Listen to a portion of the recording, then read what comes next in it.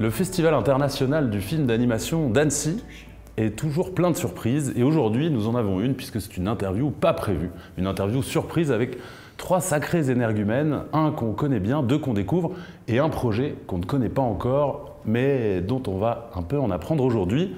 Nous avons avec nous Benoît Delépine, que vous reconnaissez peut-être malgré ses lunettes noires ou grâce à ses lunettes noires. Nous avons euh, Frédéric Felder. Bravo. Oui, car son nom n'est pas facile à prononcer. Et nous avons Alexis de chez Hoffman. Backfilm. Alexis Hoffman. Hoffman. Donc, distribution, écriture et concept. Et Écriture et concept. Moi, c'est import-export, c'est lui, Import. l'écriture, euh, concept. alors, justement, racontez-nous qu'est-ce que vous faites tous les trois et pourquoi vous êtes là? Eh bien, figurez-vous que le monde de l'animation nous a attirés comme un aimant universel. Et que, voilà, il se trouve que euh, on a eu une histoire qui me concerne, une histoire euh, personnelle, qui me tient beaucoup à cœur. C'est-à-dire que c'est tiré de faits, euh, d'un fait divers réel. Là, J'ai du mal à, à retenir mes larmes, mais bon, normal, enfin, je, normal, peux, je, peux, je peux parler ou. euh, Allez-y. C'est terrible. C'est-à-dire que j'ai un, un chat qui, qui, euh, qui mange très peu de croquettes et qui euh, est devenu euh, énorme au moment où je m'y attendais le moins et je, ne trouvais pas les raisons de, sa difformité de son handicap. Et là, euh, il se trouve que mon ami Frédéric Felder, qui, euh, constatant ce souci, hein, cet énorme souci, a eu l'idée euh, de, de, mettre euh, vraiment un inspecteur pour, pour essayer de trouver quelle était euh, la potentialité d'une double vie, voire d'une triple vie, quadruple vie, sextuple vie. Et comme inspecteur, il a eu l'idée de mettre mon chien, qui s'appelle Dagobert.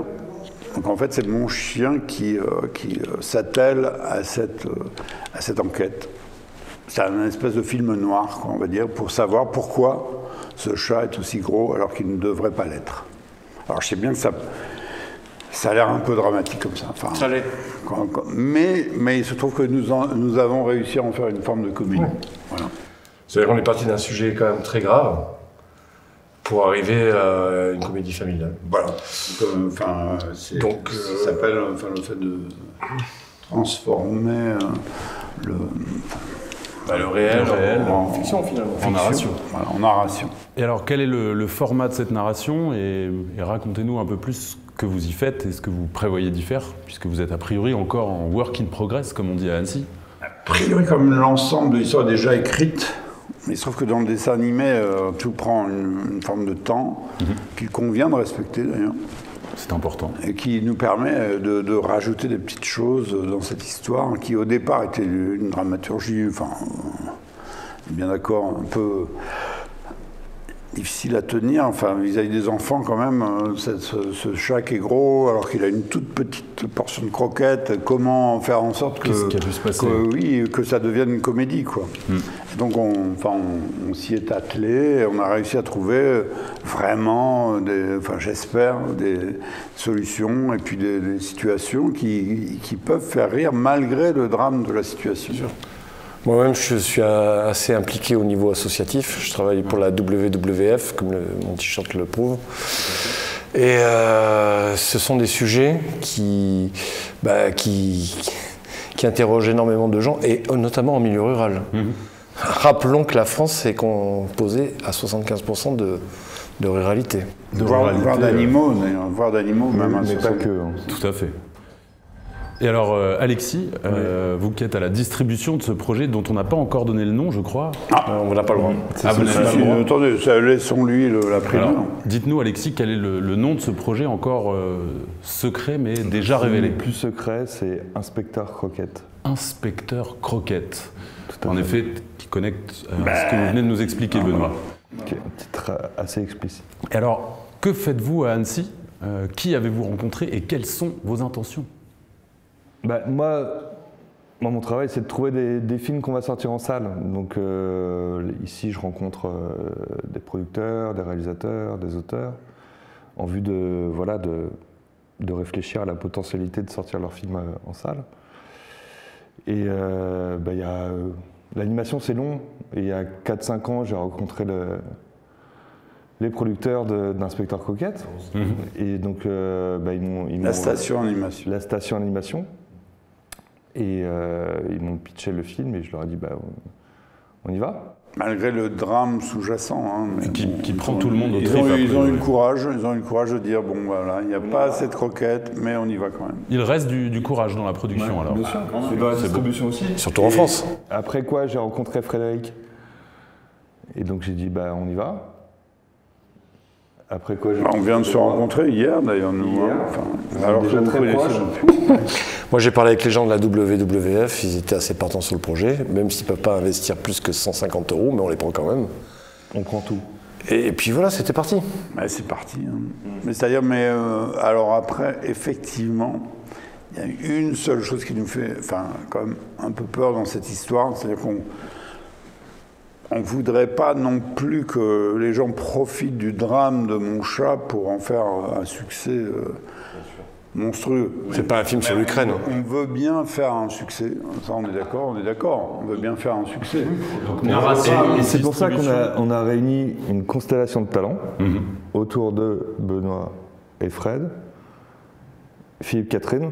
Philippe Catherine, c'est un Pour chanteur. les, pour les voix, j'imagine, ou pour la composition de la musique Pour les voix, peut-être, euh, on espère la pour un con- rôle. ouais, pour- non, mais le rôle, c'est sûr, mais pour la, la musique, la musique, pour la Bah, pour le tube, parce que vous savez que. hein, Esteban Steven qui est extraordinaire dans le rôle de d'Agobert. et euh, a priori euh, peut-être Alain Delon. Non, non. Mais ça, c'était encore en discussion. C'est c'est en discussion. En fait, c'est pas ça, c'est qu'il y a une voix off qui accompagne tout le dessin animé. Et bon, il est, en fait, Il est pressenti pour. Ouais, euh, mais il fait partie. ça, met tellement il est dans la shortlist des hein. 25 dernières personnes. Et alors, pour discuter, euh, parce que tout le monde se demande si c'est vraiment sérieux ce qui est en Ah train bah de se passer attendez, ici, mais c'est terriblement sérieux. Ça Non, va vraiment c'est arriver. sûr, hein, C'est sûr. Et du coup, on aimerait savoir quel est le L'équipe technique, elle est un peu atterrée. je quel est le timing de d'apparition de Inspecteur Croquette? Quand est-ce qu'on en apercevra les Écoutez, premières si images? je vous disais 2023, vous me diriez quoi? Euh, Je vous dirais, avez-vous prévu de revenir à Annecy l'année prochaine? Ben, pour le- le- la présentation, mais peut-être 2024, peut-être pour. Voire 2025. Pour moi, un projet, c'est 7 ans minimum. Non, mais pour, pour- pour être un petit peu sérieux, parce que ils ont. Alors Alexis, racontez-nous. Non, là, là, ils sont, ils ont, on est en fin de développement, ils ont fini d'écrire, on est en pleine phase de financement. Euh, On a un trailer qui est on a un pilote. J'espère que vous, di- que vous diffuserez.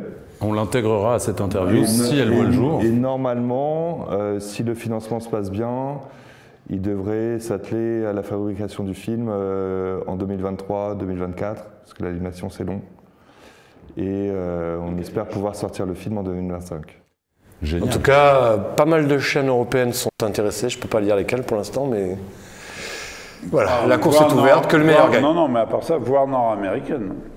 On a eu des rendez-vous ce matin, non mais Et on a- l'air tout de à fait plaisanter. sérieux. euh. Et c'est tout à fait sérieux. Et c'est ça qui est très étonnant à Annecy, c'est que parfois il se passe des choses complètement barrées, mais qui sont tout à fait sérieuses. Si je vous dis- nous sommes en plein dedans. Je peux vous dire Mexique, je peux vous dire États-Unis, je peux vous dire Canada. Voilà. Et nous n'en dirons pas plus, car un trio de pays, ça suffit. Alors, inspecteur Croquette, euh, Philippe Catherine, Benoît Delépine, euh, Esteban, est-ce qu'on peut parler technique? Qu'est-ce que vous prévoyez comme technique d'animation pour ce film? Une espèce de, de, de 2D upgradé. C'est-à-dire qu'il y a des gens, par, par exemple à Angoulême, qui sont capables de travailler sur les ombres, de la texture des ombres, etc., etc., qui font que vous voyez un, un film de 2D euh, euh, qui est assez magnifique, mais il y a un petit plus qui fait qu'on se dit, tiens, c'est c'est quand même moderne et tout, euh, voir dans le propos quand même. On a décidé de jouer la technologie sur ce film-là, en tout cas. C'est de la, de la technologie Emmaüs, certes, mais de la technologie.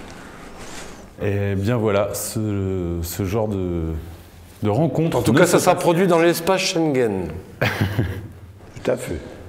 Avez-vous déjà euh, vécu ce genre de rencontre ailleurs, dans d'autres festivals? Vous me parliez de Los Angeles, où vous passez beaucoup de temps euh, en ce moment pour le film. Euh, on est d'accord, ça se passe qu'à Annecy, des choses comme ça. Ce sont pl- plutôt nos anges gardiens qui passent beaucoup de temps avec nous. Mais euh, Ah oui. Non, Los Angeles, on y va surtout. C'est, je vais acheter mes habits là-bas, surtout, essentiellement. Et des disques. et des disques. Et... mes t-shirts et tout ça. Los Angeles. Eh bien, merci à vous trois d'avoir été. Non, merci à vous. D'avoir Merci été vous. aussi Annecy Merci que nous le sommes. Un petit mot à nous dire sur le festival, Alexis?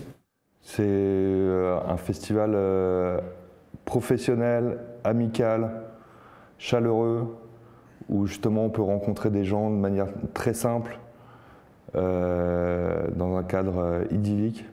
Donc c'est vraiment formidable. Hein, Je voudrais rajouter un. oh, pardon. Je vous en prie, je vous en prie, Benoît. vas-y. Moi, je pensais pas qu'un tel événement pouvait exister en France. Franchement, j'ai vu des choses comme ça que à Los Angeles.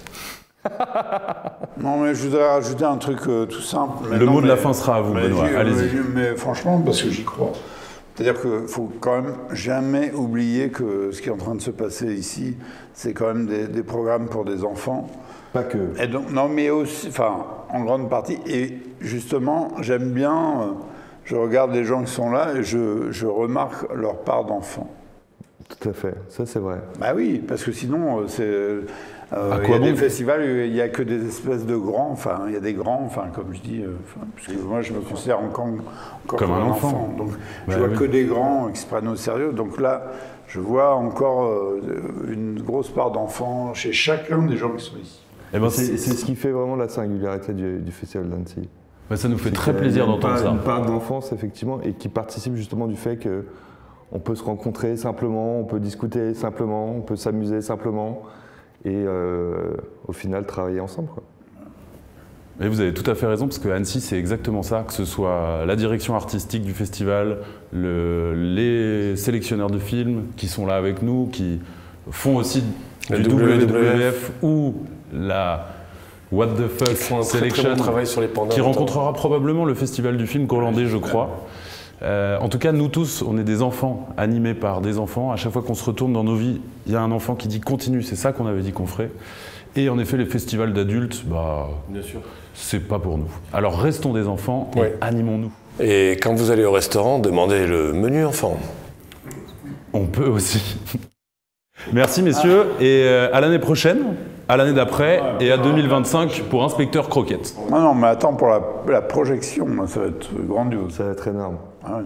Menu enfant pour tout le monde. Allez, super. À très vite.